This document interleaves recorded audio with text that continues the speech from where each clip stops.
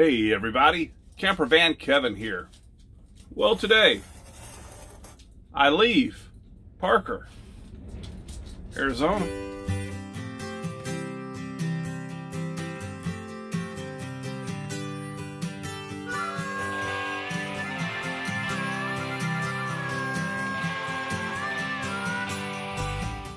I have thoroughly enjoyed my stay here at uh, the Blue Water Casino, but it's time to move on.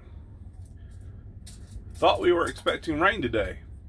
But we didn't get it, but we got wind instead.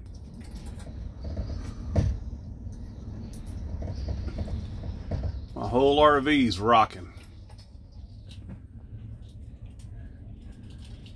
Woke me up this morning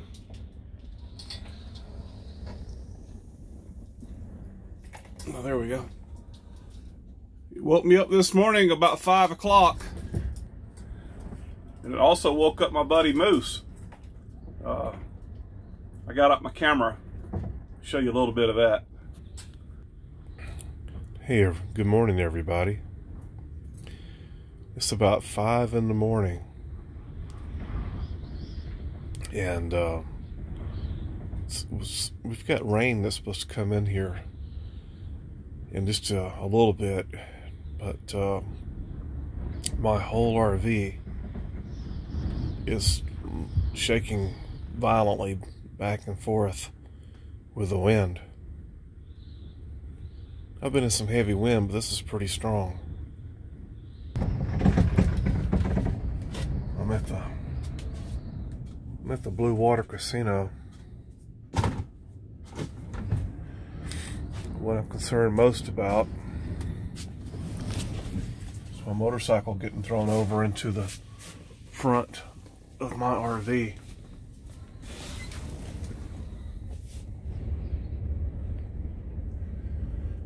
My buddy Moose, it woke him up. He come out and uh, he's going around checking for chairs and anything that's loose. We got up at the same time. It woke us both up. So he's going around laying people's chairs down so they don't become a projectile.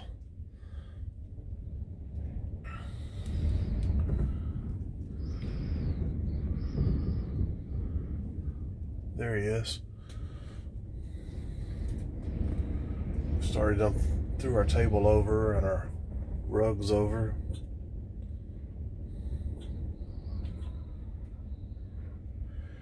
But uh, he saw me and he came over and I asked him, I said, hey, is that bike going to fall over? He says, no, I think it's good.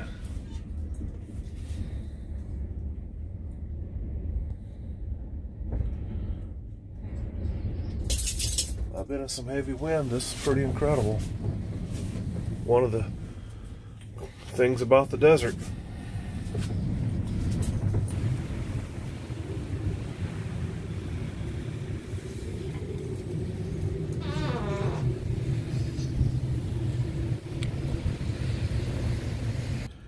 Yep, I hadn't made my bed. Today is laundry day, grocery day, uh, black and gray water dump, dump, dump day. so I got a few things to get done. I'm gonna sit here I'm gonna drink the rest of my coffee first, then I'll get with it. I'm gonna load the bike and figure out which way I'm gonna go. Always fun loading Miss America the motorcycle. Had quite a angle on it this time. And I thought I could push it up there pretty easy. Not so much. Okay. We got to pick up our stuff from the wind.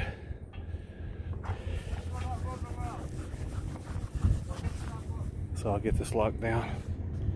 People ask me from time to time, how's all this holding up? Adding these two extra arms legs onto this rack was a, a very good idea. And when before I cinch it down, the top of that brake reservoir and this right here, putting it under there, I bet I couldn't put a piece of cardboard between the two. Tight fit. So the chances of me getting another motorcycle, I'll have to try it out first if I do. I started having a little bit of trouble. Um, cuts off with me about once a day. It always waits till I'm in traffic or somewhere I don't want it to cut off. And I kick it and it goes starts right back up. Then the other day it didn't want to start. So I got on eBay, got this wind, and I ordered a, another CDI box. Well, it didn't fit. It was the wrong one. But after I plugged it all back together, I've been driving it day after day after day. Easy starting, hadn't cut off. I think I had a bad connection between the factory wiring and the factory CDI box. When I took it off, put the other one on, or tried to, and then put the old CDI back on, I must have corrected something in the wiring. I think I had a loose connection. Maybe I got it now. I sure do enjoy having her, Ms. America, the motorcycle. No need to have a hat on this morning. Chances pretty good it blow off.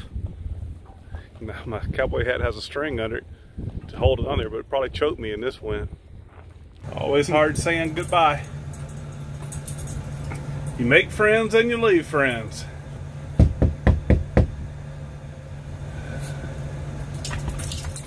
I'll see you. I'll see you, Moose. Moose is a good guy. Yeah, I like Moose. His RV does smell like furniture, though.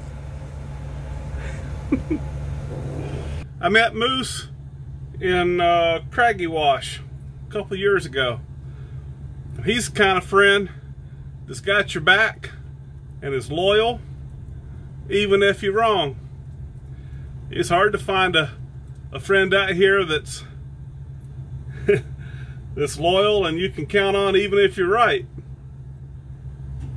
He's good people. My friend. I put my hat up here on the dash. Tucker knocked it off and stepped on it. Bent the bent the rim brim. Get this thing on.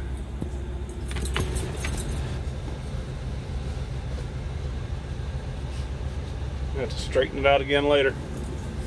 Man, I'm sorry. It was an accident. It's okay, Tuck. I shouldn't have put it where you could have got got into it. And baby MaeMae's. Morning, Daddy. Let's get out of here.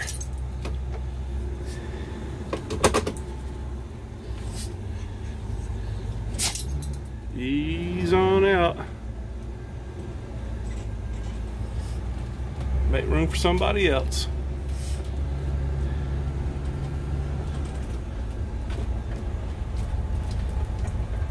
Thank you, Blue Water Casino, for your hospitality.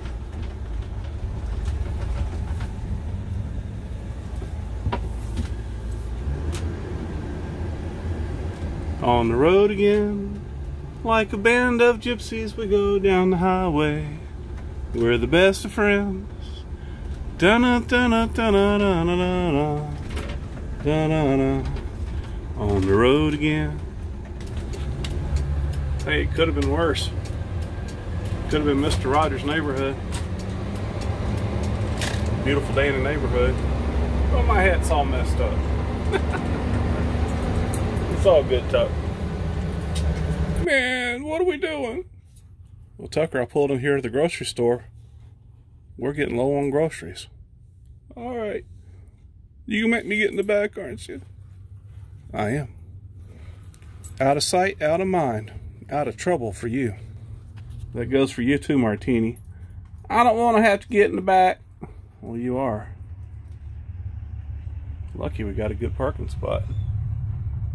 There's a camper van with flames and a yellow door. I guess he won't lose that in the parking lot. He'll know which one's his. Everybody's doing the best they can do. Actually, I kind of like the flames. I don't care for the yellow door. Don't ever make fun of nobody's rig. Right? Remember, I was in um, Cleveland, Georgia, and I told you about my first RV and how proud I was over it. And I went to a campground, and old man standing outside making fun of it when I was about, I don't know, 19, 20 year old crushed me. I was doing the very best I could do. So I know what it feels like. So don't make fun of nobody's rig. I mean, I do like it. I don't like the yellow door. Who knows, that sucker might be mint on the inside. I like the pipes on the bottom. Yeah. All right. Note to self, never put your hat where your dog can get step on it. I'll get it figured out. Man, I'm sorry. I didn't mean to, Daddy. It's my fault, Tucker, for putting it in your way. Even Ms. Gypsy's not perfect. Started scraping these stripes off and stopped. Waiting for warmer weather. Even the show cars at the, at the car shows, they're not perfect. I'll tell you a secret. I spent all my life trying to make things perfect. And it's one thing, one of the things that kept me from being happy. Okay?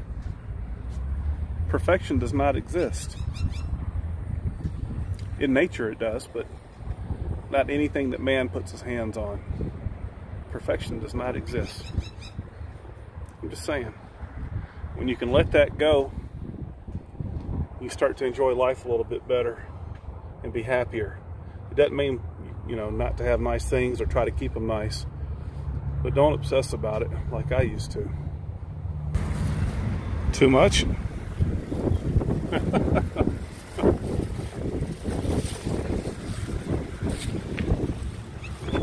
Big day here at the propane station. Everybody and his brother and his mother are here. We are too, Daddy. That's right. We are too. They're already up there standing in line. I'll pull on. Say, is the propane expensive? Well, let's see, baby. Two forty nine. Not so bad. Where do you see that, Dad? Man, there's some people out here. My name's Tuck Tuck. The Terrible. I'm in charge of security Miss Gypsy, the RV. You get too close, you've been warned, I will bite you. Thank you, Tuck. You could have just barked. That was more fun. What do you think those, uh, is that some type of radar? These things right here. There's two of them. Now that's the cell phone tower right there.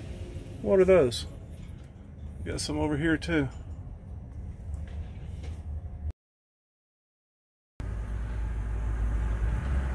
Twenty-five dollars. I think I've got propane in about three weeks. I was a little bit low, below. I was a little bit below half tank. Laundry. There's just no way to escape chores like laundry. Man, I hate laundry. Tucker, you don't ever do laundry and you don't wear clothes. I got a vest. Yeah, but I wash it, you don't.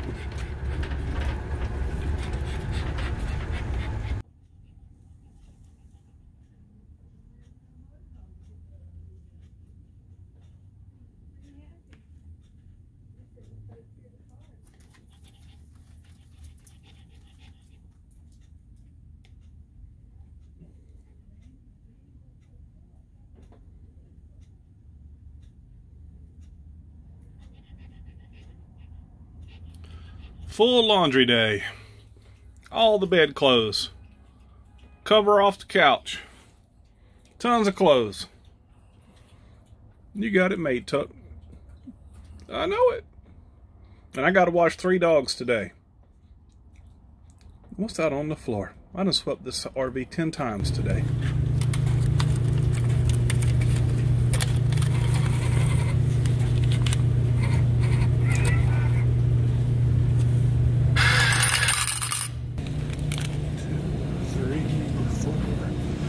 five. Five loads.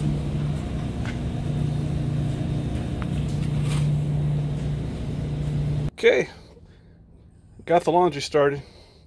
People always ask me, that couch must be in bad shape, huh? Reason to keep it covered? No, it's in pretty good shape. And that's the reason I keep it covered. He likes to dig and scratch on linens. Just saying, Tucker. There's a picture. There's another picture. See what I mean? Washing the bed linens. He's got to dig and dig. I gotta say, I don't think I like this mattress, this foam. But I gave $500 for it when I bought the ProMaster van. so I'm trying to get some use out of it. A little too close to it. It just, um, it sleeps good, but it's hard to, that's something you don't see a whole lot. It sleeps good, but it's hard to get in and out of it it's a, it's a pain. I like a uh, I like a real firm mattress. So I'm not sure how much longer I'm going to keep it. Maybe for a while. I tell you what, I'm not going to buy another one.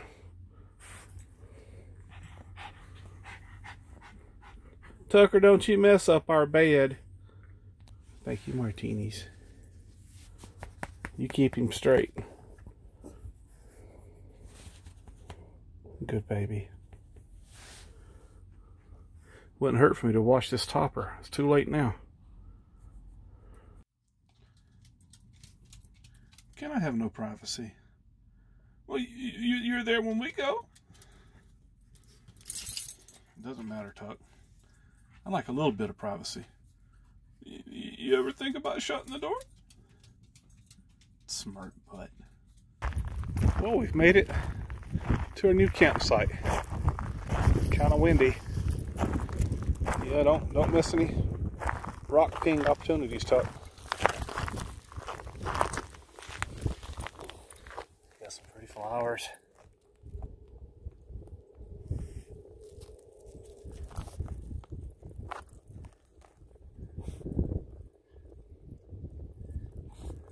Think the desert's very beautiful in its own way. Y'all finding something interesting over there? I think that old coyote peed over here, Daddy. Tucker peed on top of it, and I can't tell too good. I, I smell coyote. I'm gonna keep y'all inside, keep you on a leash. Tucker, you pee on Martini, I'll bang you in the head. Well, I gotta make up the bed, put up the socks and the towels and the underwear all kind of stuff. Clean up the house. Back out in the desert again. It's a couple people where I'm at, but not many. Just a bunch of gravel and rocks. Well, it's evening now. And I have camped here before. I just want to show you my light setup. I uh, I have to put lights out here. We have a lot of mice at this camp location. So, oh, my rope light's not on. Let me turn it on. Bear with me. All right, there we go.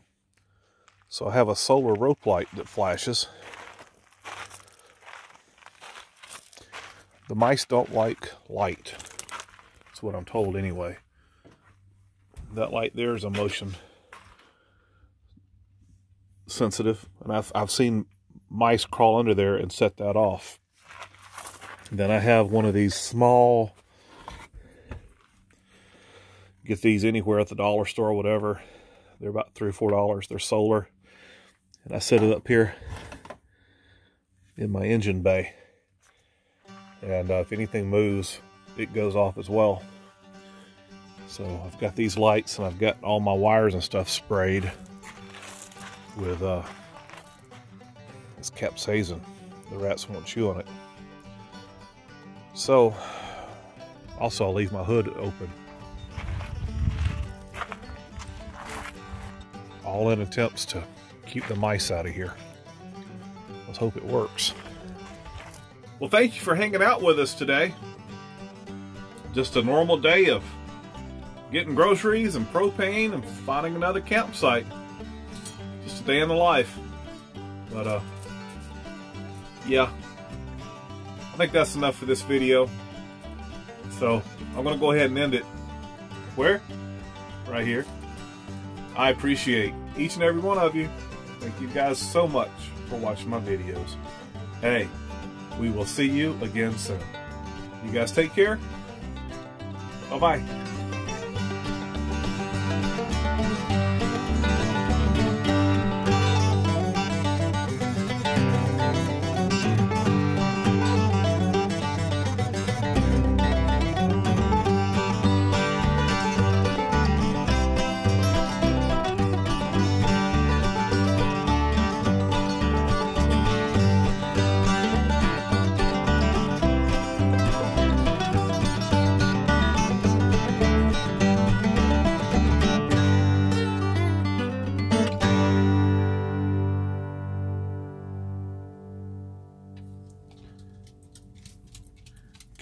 Privacy?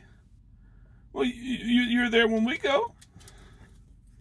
It doesn't matter, Tuck.